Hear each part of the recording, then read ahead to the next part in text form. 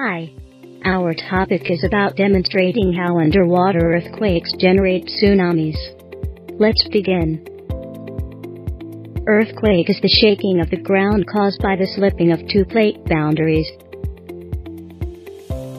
A tsunami is a large ocean wave usually caused by an earthquake in the ocean floor.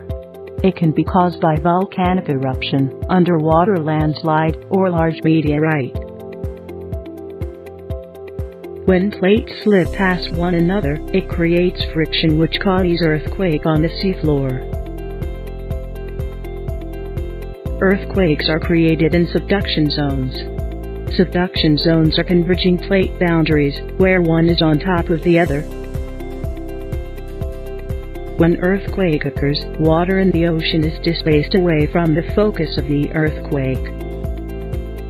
The displacement of water in the ocean also disturbs the water on the surface. Some water travels across the ocean basin.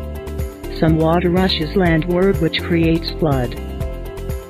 In summary, tsunamis occur when plates slip past one another, thus creating a friction.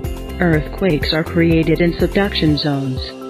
Water then is displaced, moving away from the focus of the earthquake. Some water travels across the ocean basin. Some water also rushes toward the land, creating a flood.